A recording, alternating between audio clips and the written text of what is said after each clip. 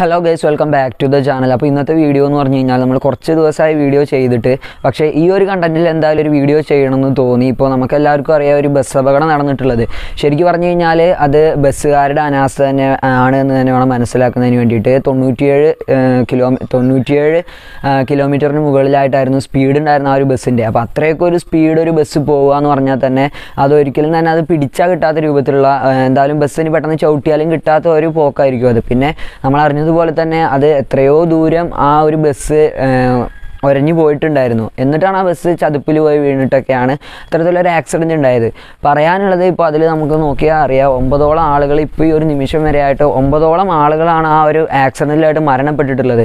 സത്യത്തിൽ അവർ വളരെയധികം സന്തോഷിച്ചിട്ടും അതുപോലെ തന്നെ യഥാർത്ഥത്തിൽ അവർ സി ബി എസ് സിയിൽ പഠിക്കുന്നവരാണ്. അപ്പോൾ ആ ഒരു പഠനത്തിന്റെ സ്ട്രെസ്സ് കാര്യങ്ങളിൽ നിന്നൊക്കെ ഒന്ന് റിലാക്സ് ആവുന്നതിന് വേണ്ടിയിട്ട് അധ്യാപകരോടൊപ്പമായിട്ട് ഏകദേശം നാൽപ്പതിൽ കൂടുതലായിട്ടുള്ള വിദ്യാർത്ഥികളായിട്ട് വളരെയധികം സന്തോഷിച്ചുകൊണ്ട് പോയിട്ടുണ്ടായിരുന്ന ആ ഒരു യാത്ര വളരെയധികം ദുഃഖത്തിൽ കേരളത്തെ നടുക്കിയ അല്ലെങ്കിൽ ഇന്ത്യയെ വരെ നടുക്കിയ രൂപത്തിലുള്ള ഒരു വലിയൊരു ബസ് ആക്സിഡന്റ് എന്ന് പറയുന്നതിനെക്കാട്ടിലും അപ്പുറമായിട്ട് ഒരു ട്രാജഡി ആയിട്ടാണ് അത് മാറിയിട്ടുള്ളത്.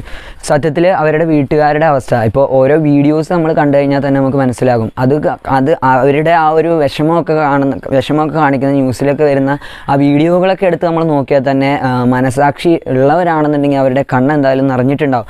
നമുക്കൊന്നും അംഗീകരിക്കാൻ പറ്റാത്ത രൂപത്തിലുള്ള ഒരു ആക്സിഡന്റ് ആണ് പെട്ടെന്ന് തന്നെ നമ്മളൊക്കെ അറിഞ്ഞിട്ടുള്ളത്. ഒരു പോയി കഴിഞ്ഞാൽ പതിനഞ്ചോ പതിനാറോ പതിനേഴോ വയസ്സ് മാത്രമുള്ള വളരെ ചെറുപ്പമായിട്ടുള്ള ജീവിതം എന്താണെന്ന് പോലും അറിയാത്ത രൂപത്തിലുള്ള സഹോദരങ്ങളാണ് അല്ലെങ്കിൽ സഹോദരിമാരാണ് അതിൽ മരണപ്പെട്ടിട്ടുള്ളത്. അതിൽ പിന്നെ കായിക അതിൽ അധ്യാപകനുണ്ട് കായിക അധ്യാപകനുണ്ട് അതുപോലെ മറ്റ് ജോലികൾ ചെയ്യുന്ന ആളുകളുണ്ട് അതുപോലെ ബാസ്ക്കറ്റ് ബോൾ പ്ലെയേഴ്സ് ഉണ്ട് അപ്പോൾ ഇത്തരത്തിൽ ഒരു കേരളത്തിനെ അല്ലെങ്കിൽ ഇന്ത്യനെ ഒക്കെ നടുക്കിയിട്ടുള്ള ഈ ഒരു സംഭവമാണ്.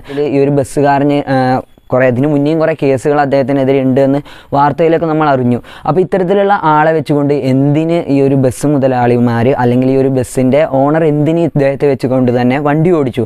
അതാണ് എന്റെ ഒന്നാമത്തെ ചോദ്യം. അതുപോലെ തന്നെ വേറെ ഒരു കാര്യം എന്നുള്ളത് രണ്ട് മണിക്കൂർ ഓൾറെഡി വൈകിട്ടായിരുന്നു സ്കൂളിൽ നിന്ന് പോകാൻ ഉദ്ദേശിച്ചിട്ടുണ്ടായിരുന്നത് ഒരു അഞ്ച് മണിക്കായിരുന്നു. അപ്പോൾ ഏഴ് മണിക്കാണ് ഇവർ ഒരു ആറേ മുക്കാൽ സമയത്തായിട്ടാണ് ഇറങ്ങിയിട്ടുണ്ടായിരുന്നത്. വേറെ ഒരു ട്രിപ്പ് കഴിഞ്ഞിട്ടായിരുന്നു ഈ ഒരു ബസ് ഡ്രൈവർ വരുന്നുണ്ടായിരുന്നത്. പിന്നെ എന്തിനു വേണ്ടിയിട്ടാണ് അദ്ദേഹം തീരെ ഒരു റെസ്റ്റ് പോലും എടുക്കാതെയാണ് അദ്ദേഹം വണ്ടി എടുത്ത് പോയിട്ടുള്ളത്.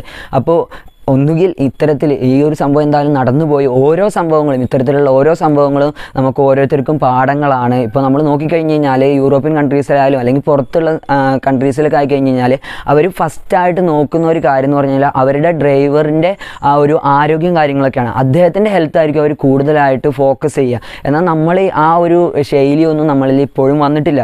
നമ്മൾ പ്രധാനമായി ശ്രദ്ധിക്കേണ്ട ഇത്തരത്തിൽ ദൂരെ യാത്രകളൊക്കെ പോകുന്ന സമയത്ത് നമ്മൾ കൂടുതലായി അറിഞ്ഞിരിക്കേണ്ട ഒരു കാര്യം എന്നുള്ളത് നമ്മളെക്കാൾ കൂടുതലായിട്ട് ശ്രദ്ധ കൊടുക്കേണ്ടതും അതുപോലെ തന്നെ ഹെൽത്തൊക്കെ നമ്മൾ ശ്രദ്ധിക്കേണ്ടതും നമ്മളെ ഡ്രൈവ് ചെയ്തുകൊണ്ട് കൃത്യമായ ഒരു സ്ഥലത്തേക്ക് നമ്മളെ എത്തിക്കുന്ന ആ ഒരു ഡ്രൈവറെ തന്നെയാണ്. അപ്പോൾ അദ്ദേഹത്തിന്റെ ആരോഗ്യം അദ്ദേഹത്തിന്റെ അദ്ദേഹത്തിന് എത്രത്തോളം ക്ഷീണമുണ്ട് അല്ലെങ്കിൽ അദ്ദേഹം എന്തെങ്കിലും ഡ്രഗ് യൂസ് ചെയ്തിട്ടുണ്ടോ എന്നൊക്കെ നോക്കൽ നമ്മുടെ കൂടെ ഉത്തരവാദിത്വമായി മാറുന്നുണ്ട്. അപ്പോൾ ഇത്തരത്തിലുള്ളത് ഓരോരുത്തരെയും ഓരോ പാഠങ്ങളായിട്ടാണ് മാറുന്നത്. ആരും തന്നെ കുറ്റപ്പെടുത്താനോ അല്ലെങ്കിൽ ഒന്നുമല്ല. ഇതിപ്പോൾ നമുക്ക് എല്ലാവർക്കും വന്നു പോകുന്ന നമ്മൾ സ്വാഭാവികമായി അവഗണിച്ചു പോകുന്ന സംഭവമാണ്. നമ്മൾ ആരും തന്നെ ഇപ്പോൾ ഒരു ബസ് നമ്മൾ വിളിക്കുന്നു. അല്ലെങ്കിൽ ആ ബസ്സിന് ഇപ്പോൾ ഇത്ര എന്തെങ്കിലും പ്രശ്നമുണ്ടോ? അത് ബ്ലാക്ക് ലിസ്റ്റിൽ പെട്ടിട്ടുള്ളതാണോ? അല്ലെങ്കിൽ ആ ഡ്രൈവർക്ക് എന്തെങ്കിലും ഇതുണ്ടോ? അതൊന്നും നമ്മൾ സ്വാഭാവികമായിട്ട് ചിന്തിക്കാത്ത കാര്യങ്ങളാണ്. പിന്നെ രാത്രി സമയങ്ങളിൽ ഇപ്പോൾ മലയാളികളെ സംബന്ധിച്ചാണെന്നുണ്ടെങ്കിൽ ഇപ്പോൾ ലോങ് ആയിട്ടുള്ള ഡ്രൈവൊക്കെ പോകുന്ന സമയത്ത് രാത്രി യാത്ര മുഴുവൻ ഇപ്പോൾ ദൂര സ്ഥലങ്ങളിലേക്കൊക്കെ പോകുമ്പോൾ രാത്രി യാത്ര മുഴുവൻ വണ്ടിയിലാക്കിക്കൊണ്ട് പിന്നെ നമ്മൾ രാവിലെ സമയമാകുമ്പോൾ എന്തായാലും നമ്മൾ ഉദ്ദേശിച്ച നമ്മുടെ ഡെസ്റ്റിനേഷനിൽ എത്തും ചെയ്യും. അപ്പോൾ അത്തരത്തിൽ നൈറ്റ് മുഴുവൻ വണ്ടിയിൽ കഴിഞ്ഞുകൊണ്ട് അങ്ങനെ എത്തുക. അപ്പോൾ അങ്ങനെ നമ്മൾ ചിന്തിച്ചു കഴിഞ്ഞ് കഴിഞ്ഞാൽ നമുക്ക് ഹോട്ടൽ ഫീ അങ്ങനത്തെ ഒക്കെ ഒഴിവാകാൻ വേണ്ടി കഴിയും. അപ്പോൾ അത്തരത്തിലുള്ള ഒരു മൈൻഡിലാണ് മലയാളികൾ പൊതുവെ ഉള്ളത്. അപ്പോൾ ഇത്തരത്തിലുള്ള ഓരോ പ്രശ്നങ്ങൾ നമ്മുടെ നമ്മൾ സാധാരണക്കാരായതുകൊണ്ടാണ് അങ്ങനെയെല്ലാം ചെയ്യുന്നത്. അപ്പോൾ അതിൽ നിന്നൊക്കെ നമ്മൾ പരമാവധി ഇത്തരത്തിലുള്ള